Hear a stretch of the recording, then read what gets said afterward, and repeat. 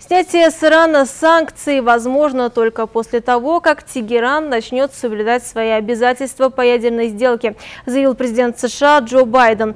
Вашингтон вернется за стол переговоров только после того, как Иран прекратит обогащение урана, отметил Байден. В свою очередь, Тегеран не считает, что предоставление Вашингтоном компенсации является условием для возобновления контактов по совместному всеобъемлющему плану действий по ядерной программе Ирана. Об этом заявил в эфире телеканала CNN глава МИД Мухаммад Джавад Зариф.